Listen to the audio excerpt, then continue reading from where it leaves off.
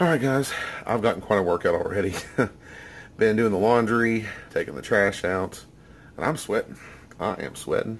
Of course, I'm out of shape too. That probably doesn't help matters much. Um, you're, you're kind of seeing the man cave here. Here's some of the uh, some some of the planes that I have. Uh, there's one right above me here. Um, that one that one's actually going to get fixed up here pretty soon. Um, as soon as we get the parts order for it. And there's a little fellow over there too. Um, he's kind of my redheaded stepchild. Um, but anyways, I'm going to do something that I had been mentioning for a little while, and that is dive into some of the music things. Now, I'm just going to do some bass stuff today, show you some, some of my basses, my gear, and probably do a little bit of bass stuff for you. Uh, eventually, I'll probably incorporate, um, you know, some guitar, some singing, stuff like that. But for right now, we'll just do a little bass introduction. So, let's get started. Alright, this one here is kind of my pride and joy. This is my, uh, the one you probably see me play at church in the church videos. This is my Music Man Stingray 5. This is a 5-string bass, the only 5-string bass I own. Isn't she purdy? Actually, she's probably dirty. I need to clean it. Um, I don't remember how long I've had this. I think it's been about, I think maybe 10 years or so I've had this thing. I actually did a custom order through Guitar Center um, and told them exactly what kind of, you know, things I wanted on the bass. I didn't pick just one off of the uh, off the shelf. So I picked the color. This is a they call it translucent teal. Um, I went for the dual humbucker design, dual pickup design, as you see here. I wanted something beefy. You know, a good beefy bassy sound. That's what I wanted. So I got that. I, I love maple necks. That's kind of my preference. So I got a maple neck and a matching headstock to go with it. So, like I said, it's kind of my pride and joy. And now let me show you my other bass. Alright, first I showed you the new school thing with my Music Man Stingray, which you just saw. Now we're going to go old school.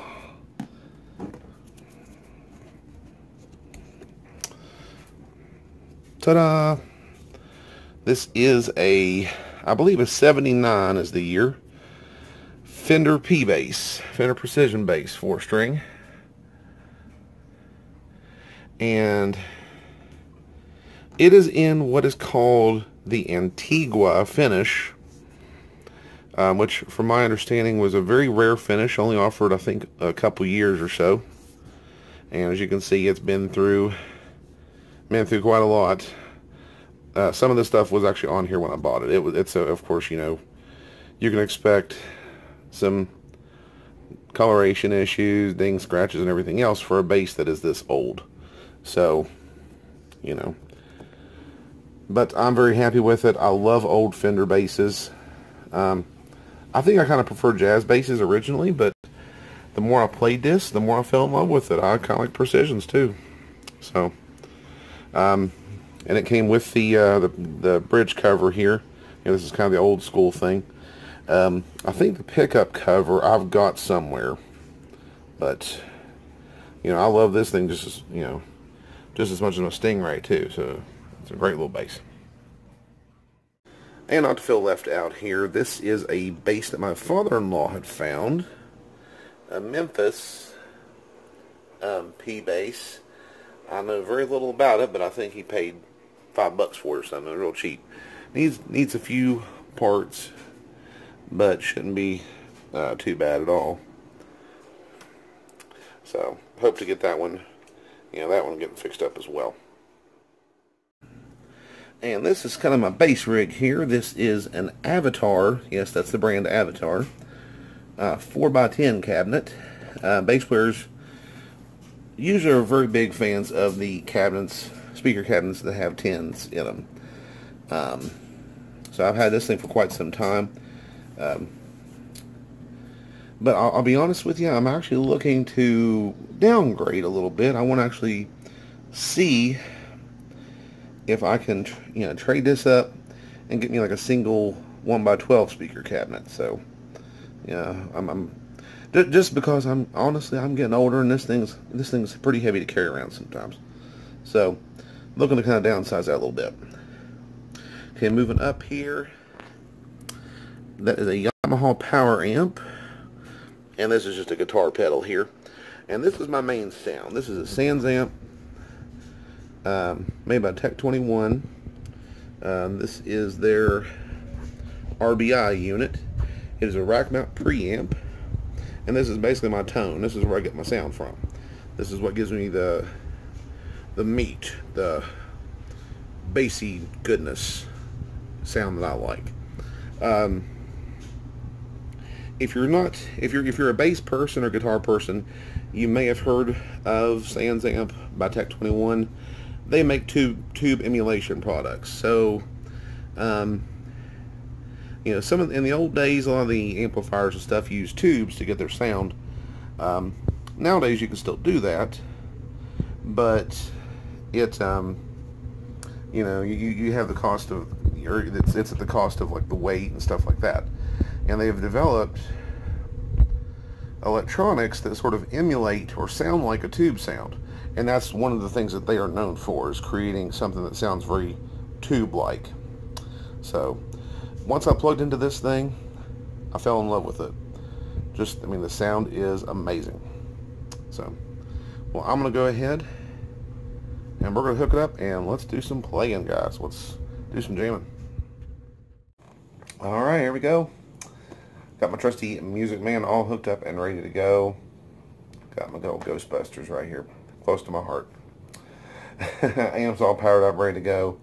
Um, uh, unfortunately, I'm I'm going strictly by the uh, the camera's microphone. So um, I did a couple tests and it sounded just fine. So um, I hope maybe, maybe at some point we'll get fancy and get a mixer hooked up to this and you know all that kind of stuff. But right now, who cares, right? Just a little bit of fun. Okay. Um, so, been a bass player about 20 years or so. Um, I kind of lost track. But, you know, throughout that time, I, I think for, for, any bass player, and I've probably said this in, in other videos as well, it's going to be versatile, you know, to kind of learn different styles of music and, you know, just, just really open your mind to different things. So, you know, I can go right from playing country to playing metal, rock, whatever, you know. So it's kind of kind of cool to be open about that kind of stuff. Um, you know, for instance, country stuff is usually a lot like this.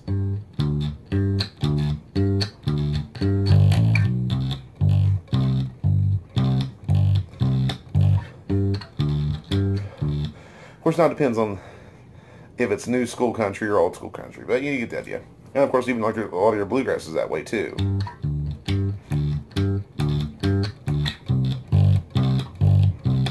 yeah, bluegrass is kind of the same as well. Um, as far as like your rock kind of stuff, like the early old rock and roll, I'm talking like, you know, Chuck Berry, um, Elvis, you know, that kind of stuff. You know, that's more of what we call walking bass. So, and, and it's usually more of a more of a fast pattern. So it's kind of like a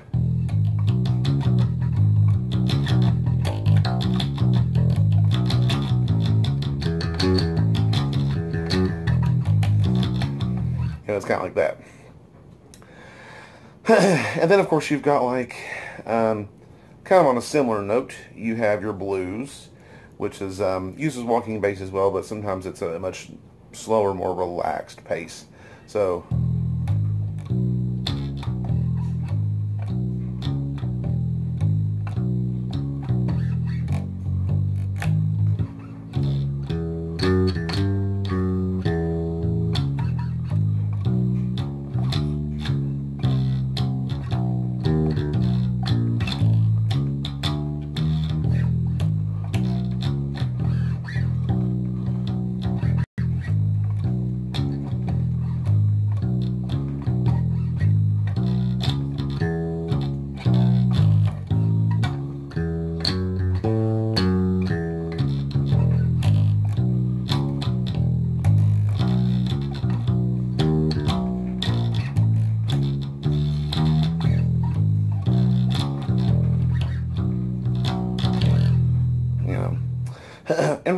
Country even has and it's kind of thrown walking bass in. It's it really it all evolves in its own weird way.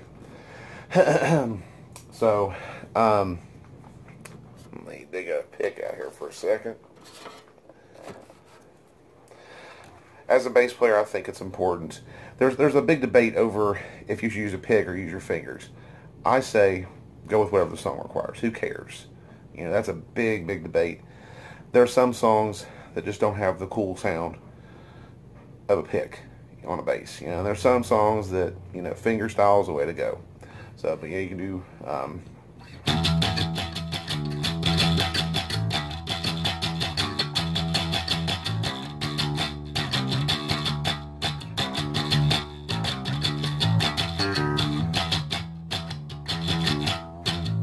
you know, I mean, pig's, pig's pretty cool. You know, it works well for punk too, you know. Um, you know.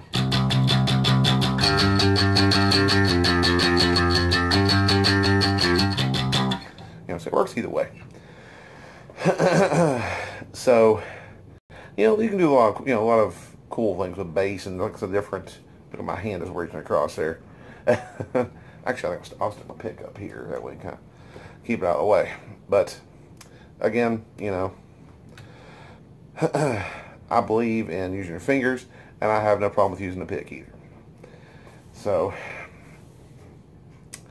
um, and you know, you can do like some slow ballad stuff. You know, this is like you know, usually it's just a, a simple thing like this.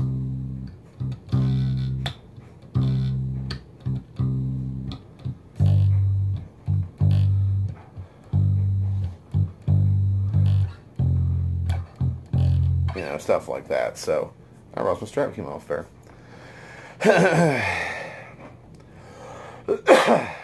so, you know, bass is one of those things I think it's just going to be versatile. You know what I'm saying?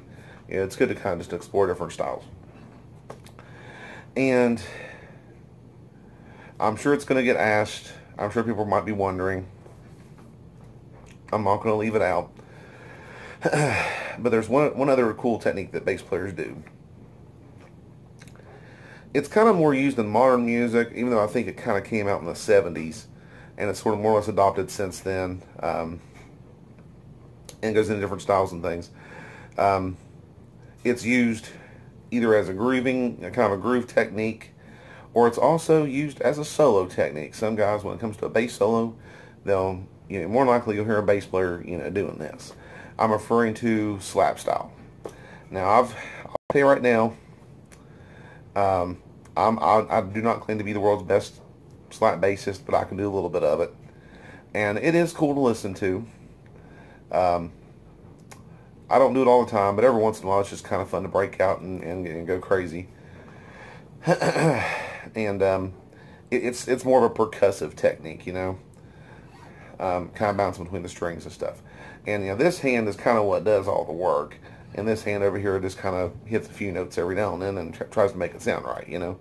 So, so, but I, I'm sure if you guys you know listen to bass players, you may think it's the coolest thing on the planet to actually hear a bass player some slap stuff.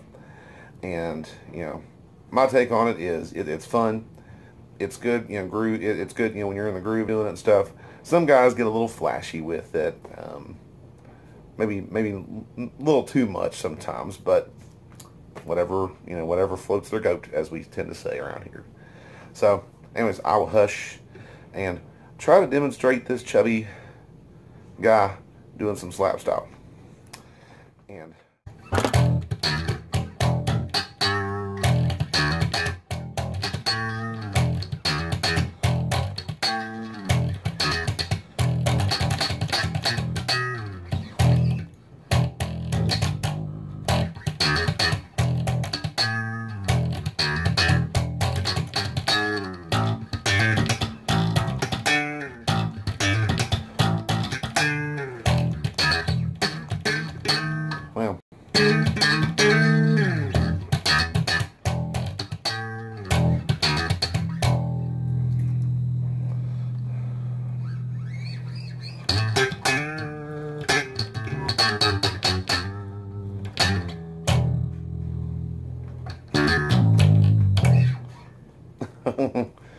like I said, I don't do it a whole lot, but it's just kind of fun to mess around with a little bit. Actually, I did have a really cool groove uh, slap style groove one time that I came up with.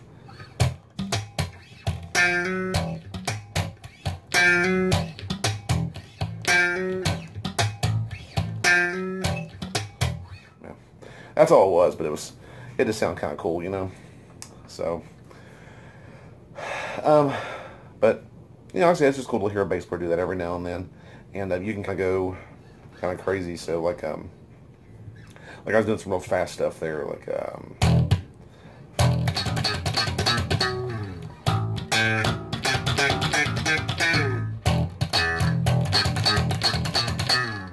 You know, something like that. and that, this up here is a cool technique too. Yeah, something like that. it's kind of fun to throw in every now and then on a song. Um, or doing like a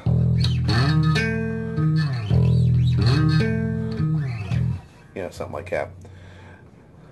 Not to be confused, it, it may sound a little bit like something else, but it's not. You might be thinking of um,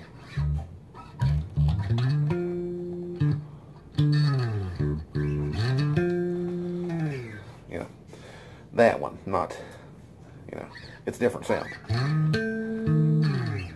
You know, so, but anyways, um, I I'll probably dive into some more bass stuff here eventually. Get show guys some more things. Um, also do some guitar work as well. Uh, sing a little bit. My my voice is starting to get there, so we might do some singing here a little bit, here a little bit later too. So, but anyways, that is all from me. For now, I do thank you guys for watching. Hope you guys enjoy a little bit of my bass playing. Um, like I said, I'll have some more music stuff coming for you eventually. And I think I might start working on composing a little bit of music for some of my videos. Just an idea.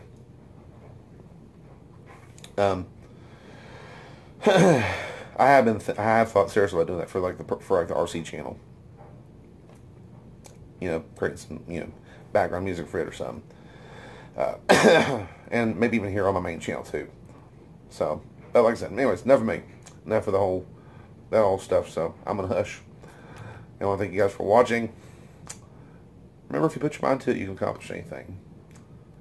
And we'll see you in the next video.